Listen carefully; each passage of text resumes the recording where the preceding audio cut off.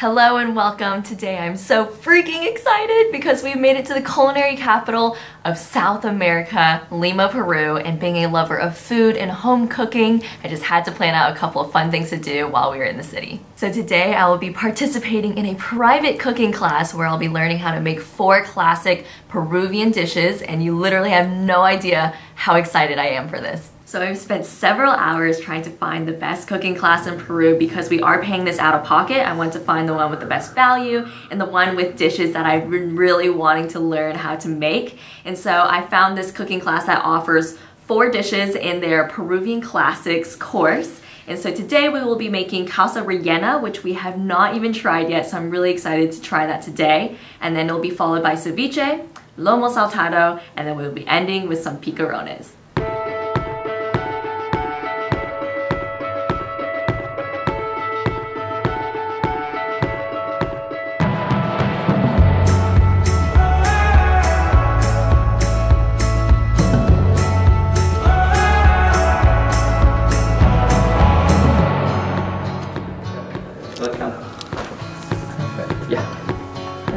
Upstairs.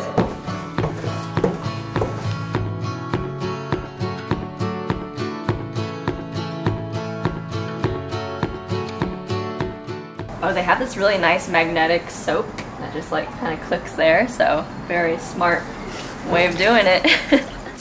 so I'm currently squeezing some limes for our pisco sour, which we're going to start off with.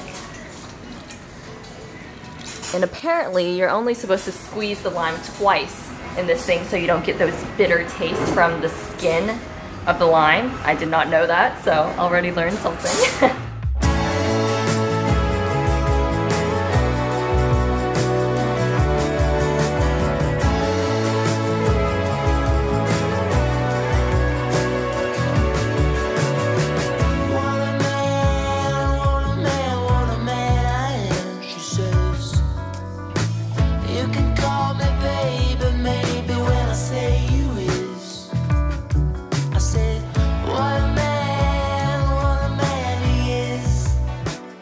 We are currently making the dough for the picarones because there's yeast in it, it actually has to rise. So we need to make it beforehand before we make anything else.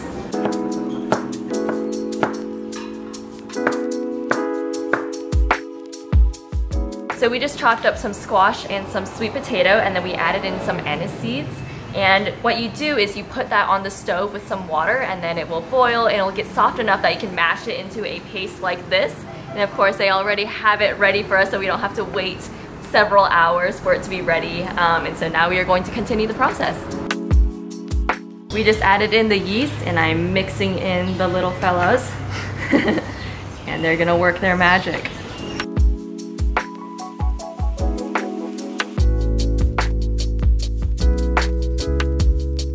And we just added in the last ingredient, which is just all-purpose flour and we mix it up into this nice little dough. Ah, oh, I get to do I don't know if I'm strong enough for this. nice. Whoa. It's like cheese. Yeah, that's so cool.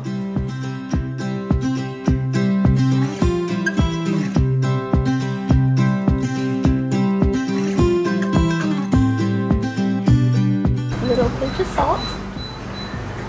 Then we're gonna add in the yellow chili paste a little dash of pepper.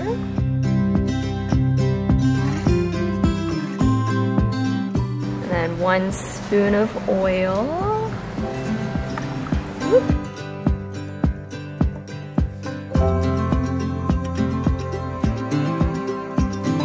So we just made the mashed potato for the causa and then he just cut up some chicken that he actually boiled with celery and carrots and we are going to assemble it with some avocados and I'm really excited to finally make the little cylinder.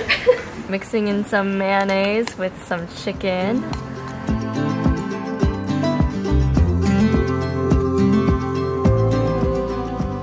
All right. Okay, that's nice. One layer chicken, nice. Okay, just press it. Press it in.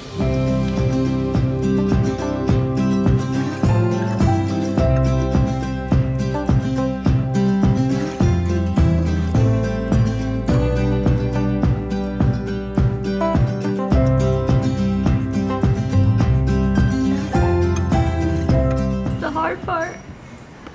Yay! Nice. Perfect. Wow. Wow, that was pretty easy to pull it off.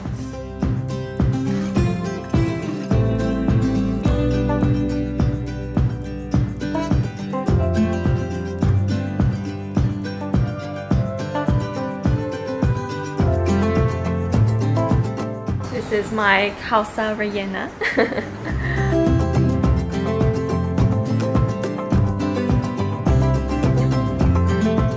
Guys, I get to eat even though I didn't work at all. I'm going to try the one that I made. All right, it's so pretty. I don't want to eat it, but. Mmm. Oh, fantastic. I've never had this, you know, in Peru yet, so this is an incredible first try. I can't believe I got to make it. And it really does taste like some good mashed potato with a little bit of almost like you had um, a tuna sandwich, you know how you mix mayonnaise with tuna. It's kind of like that, but with chicken. And it's really, really tasty. And the sauce is fantastic. Nice big bite. It's very good. And honestly reminds me of like southern cooking because of the potatoes. Having the mashed potatoes and the chicken with the mayonnaise, a little bit of um, lime in there. It's very nice. Oh, have you tried ceviche yet? I have. We got it in Paracas, and it was really, Oh. really good. Very fresh fish. You know, back in the van when Chad was squeezing it with his teeth, we should have just invested it with one of these guys.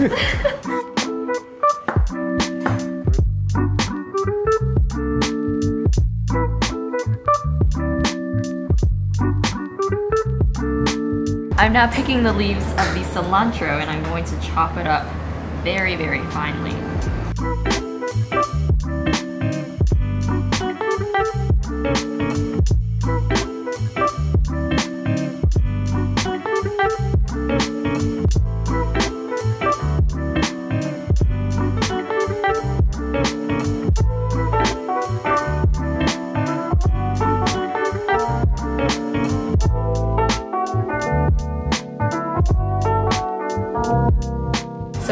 Added all of our ingredients for ceviche into this mixing bowl. And every time you add something different, the flavor of that sauce just completely changes. So the first round was basically just lime juice and salt. And then the second round, we added in a fish broth. And then the third round, we added in milk. And it changed completely every single time we added a new ingredient in.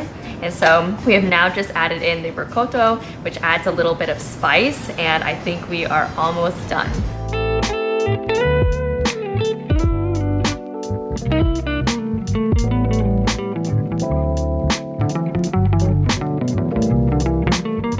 This is my final ceviche and apparently we have to eat it right away. So we're gonna quickly get some pictures and then taste it.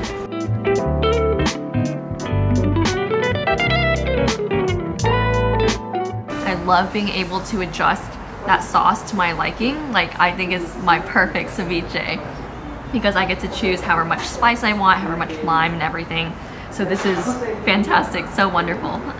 We just finished up our ceviche and now we are going to make the lomo saltado.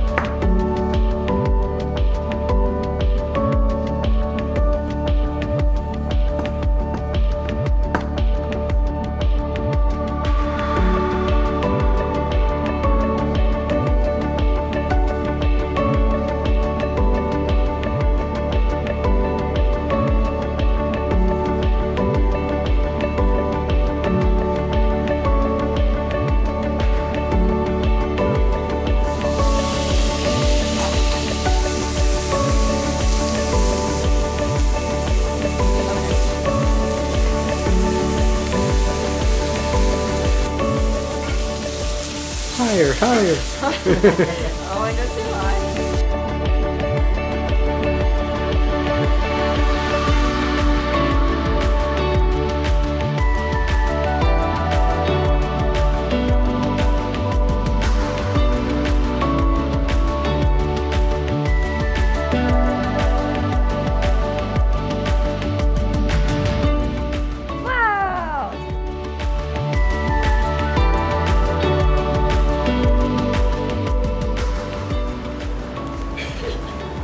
so cool. hashtag.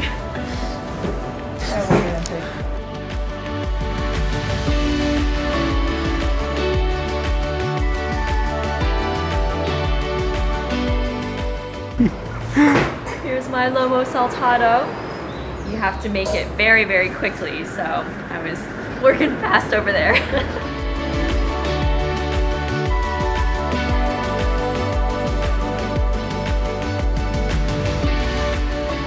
I didn't overcook the meat. Very good. I was so nervous because he was saying like this is a really good cut of meat so you can't overcook it. And I was like, oh my gosh, I hope I don't overcook it. Way to go, Claire. so the sauce is just some soy sauce, some vinegar, and some red wine. And that's really all you need for all this flavor. And then we've got some oregano, some parsley, and some cilantro in there as well. Oh yes, and some chicken stock. And all mixes super well. I'm just really happy. this is like the best day ever. I'm going to give it a shot. It's actually a little bit nostalgic for me because this is the first meal that I had in Peru. Hmm. Oh, it's so good. He was actually telling us that this dish was originally inspired by the Chinese immigrants that came here. There were apparently a hundred thousand of them, and they really influenced the cuisine here. It's cool learning about the history and then tasting it. It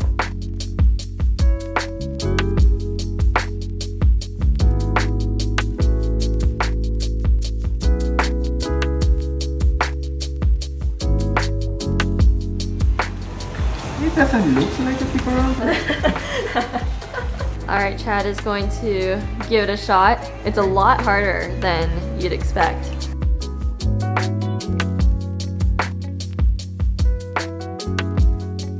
It's not easy. It's very difficult.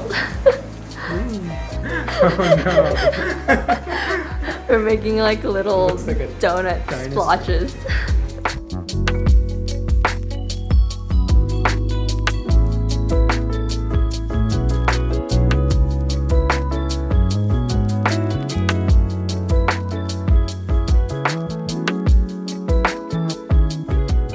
Finished up our picarones.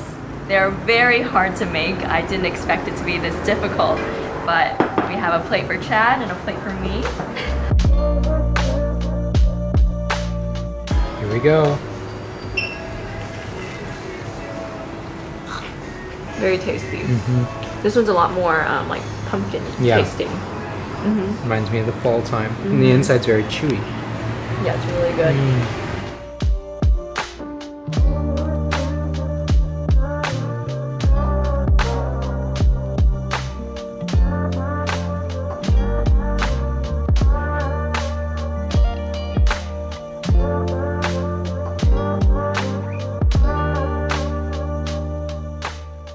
Just signed their guest book. If you do come in the future, you'll be able to see the little note that we wrote for them. So the cooking class is officially over and we're gonna head back towards our Airbnb in Miraflores. All right, thank you guys so much. Thank you very much. yeah, this is amazing.